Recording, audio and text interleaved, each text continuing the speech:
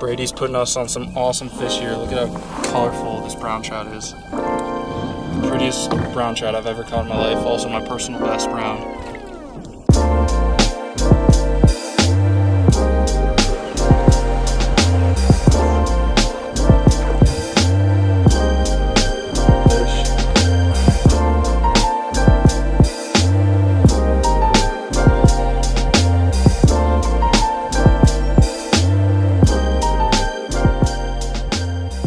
Alrighty, we are packing up the hotel room. We're gonna make a little stop through Bass Pro so I can buy a new spinning rod.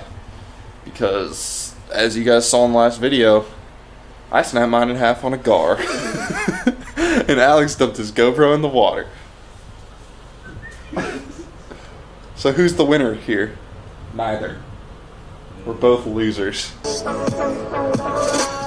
See some cool fish, they're cool setup. Buildings are always sweet.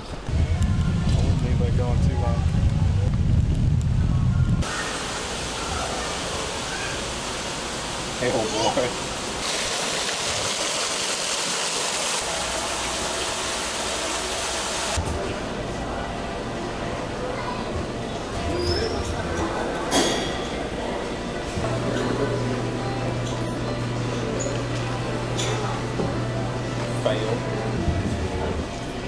All you can eat popcorn shrimp, Bass Pro Shop, sitting in front of this beautiful tank.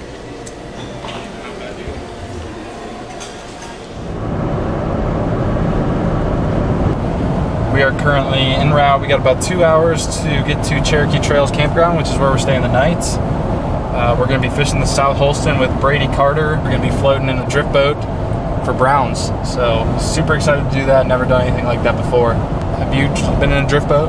I've been in a drift boat once, but never on a We river. just pulled up to the South Holston River Fly Shop. We're gonna check it out, see what they got inside. Should be a pretty cool little place. We don't know. They just turned the water up 1,000, 1,200 uh. Sulfurs. Yep. So that's our logo. That's primarily that's the the main bug on this river. Variation of it, Puff Daddy, real light fly, and then um, the aquatic stages of the of the sulfur. Split cases, um, silver beaded. How you doing?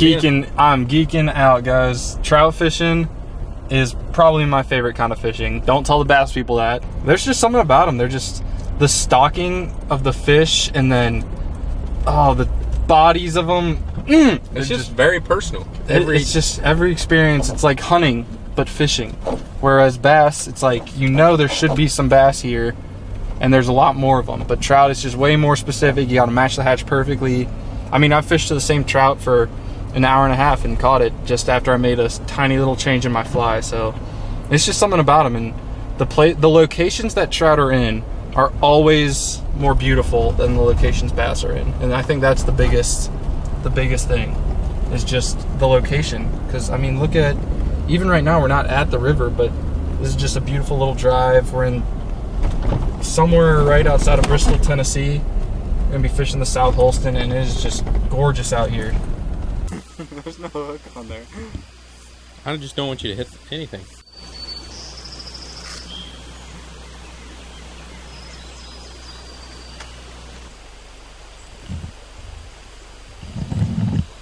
Oh, right just put it right on my shoulder.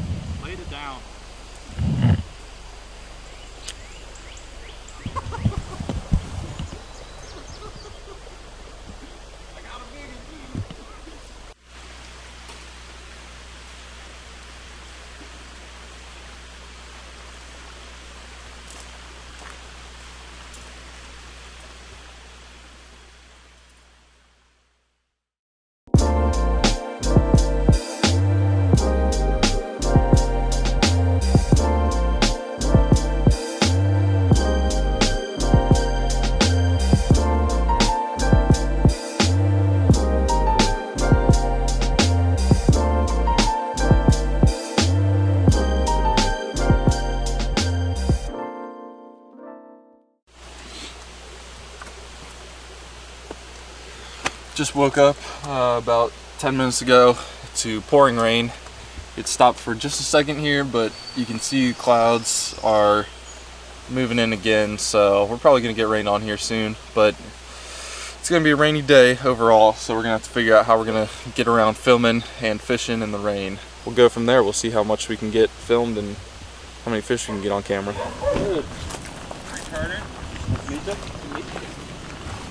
Alex. Alex, good to meet you, man. You Brady too. Carter.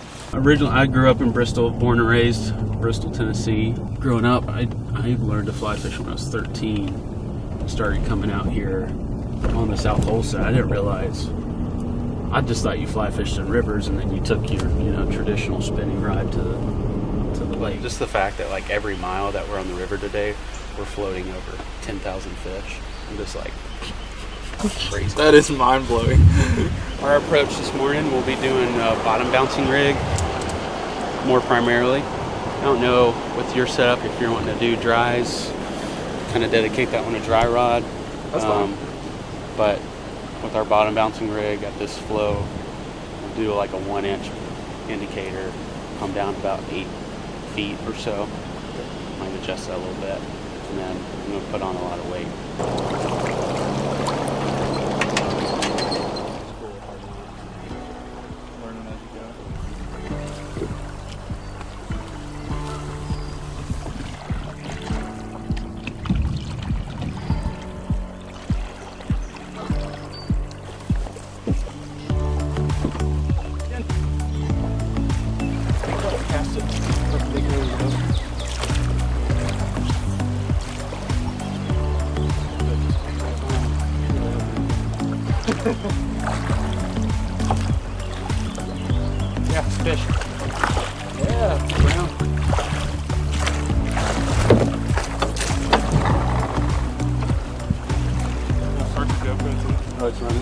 Nice.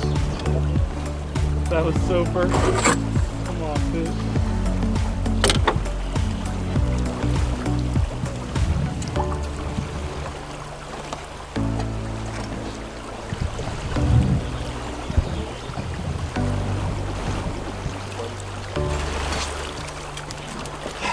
Guys. That is awesome. First fish. First fish.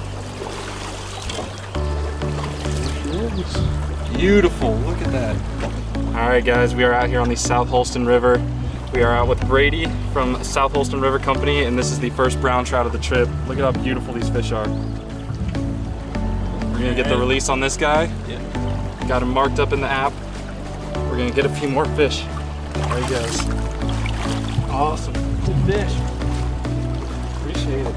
Yeah, good stuff. All right. Feels good.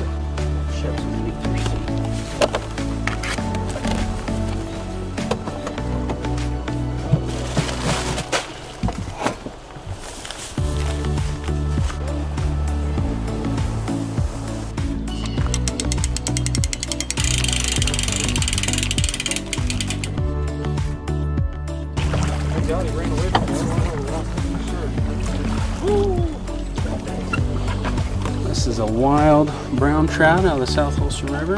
Beautiful looking fish. This was caught on the hopper dropper rig on the nymph below the hopper. Too cool.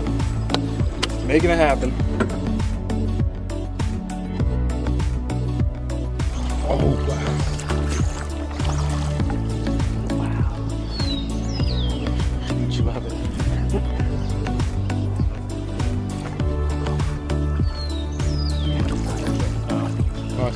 Right there. Right here. Oh, wow. It's timing. It- Really, you just kind of have to.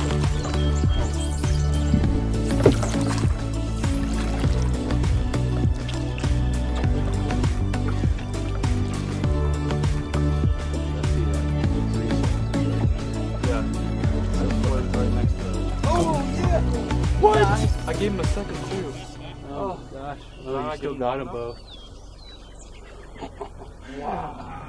awesome. That was so sick. That was a good fish too. Yeah, it was. A try. A try drive. Careful cast now. Yep. There you go. Let him go if he needs to go. Yep. Feels like a decent fish.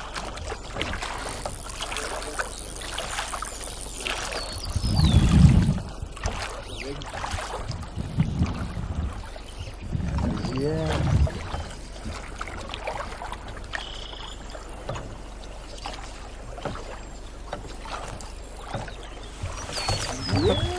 Dry fly fish. Dude, that was a subtle take. Yeah, It was. That was awesome. I just saw that nose come up and I was like, ah, looks like it.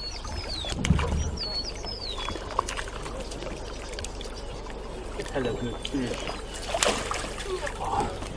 Hold on to that net for me. Grab, grab some bank back here. Yeah. Another beautiful trout. This guy was on the dry fly. Lovely little brown trout. Pretty good size. Chunky. this is so cool. I love dry fly fishing more than anything, so I'm glad that we were able to get at least one on the dry here. His little teeth. Alright, let's get him back in. Get another. See you, buddy. crazy, man. Dry fly fishing is just like a whole nother game because there's so much timing of the fish rising and presenting it perfectly and getting the right drift. Just everything has to come together, and it did.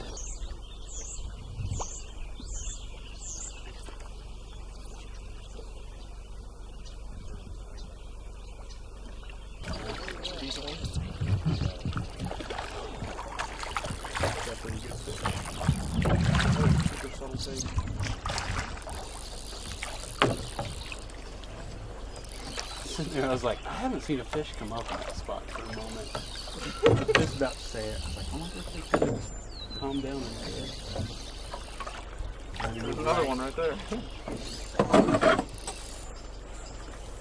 Woo. I'm angry. This is an angry fish. He's so angry fish.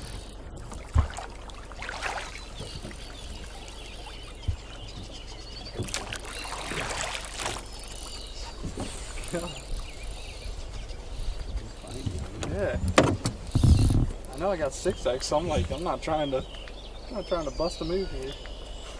I'm gonna take my sweet time. Smart man. Smart man for it. You can see this fish right in the corner of its mouth, that sulfur. That was the second one. You can see our the first sulfur's right up there. Dry fly fishing here in the South Holston. Should be pretty easy to get out. And then we'll get this fish right back in. Wow, they have some sharp teeth. Just like that. There goes that. Beautiful fish.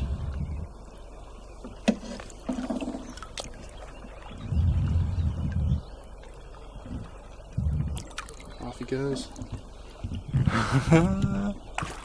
Heck yeah. Oh, yes! Yahoo! That was crazy. How you like really wear this rod? Yeah, so I've been an Orvis guy for a while. Dude, you're uh, you're the first person I've had that's really put a workout on that thing. It's feeling good. I love it. You gotta be careful.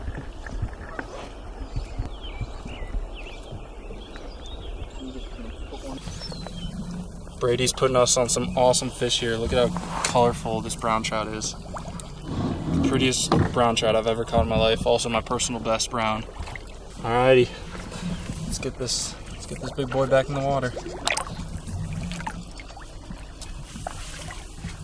That is so awesome.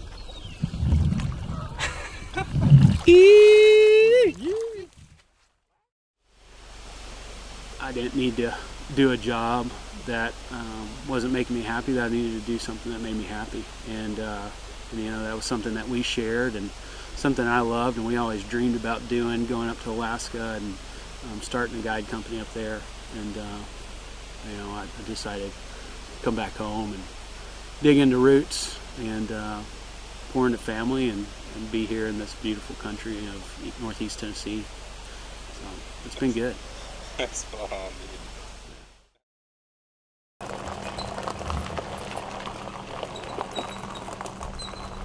Such an epic day on the water. It was the first four hours, one fish, and that was it. Um, and then we did a second pass of the same stretch. Uh, the hatch opened up just right. Sun came out for a little bit, warmed the water up. We had a sulfur hatch, and we ended up smashing them on some sulfur dry flies. So it ended up being a super awesome day. Um, you guys know that I geek out over trout fishing, so anytime I can get my hands on over 10 trout in just a few hours is just a perfect day. So you guys should have seen some pretty amazing footage from this day and we're gonna go catch some food now, not fish. Fill up our tummies, get some sleep in the tent, and then tomorrow is a travel day, but we're probably gonna do some fishing too. Maybe try and get Alex on his first trout on the fly. So see if we can make that happen. And uh, yeah, next update should be tomorrow. So thanks for watching, guys.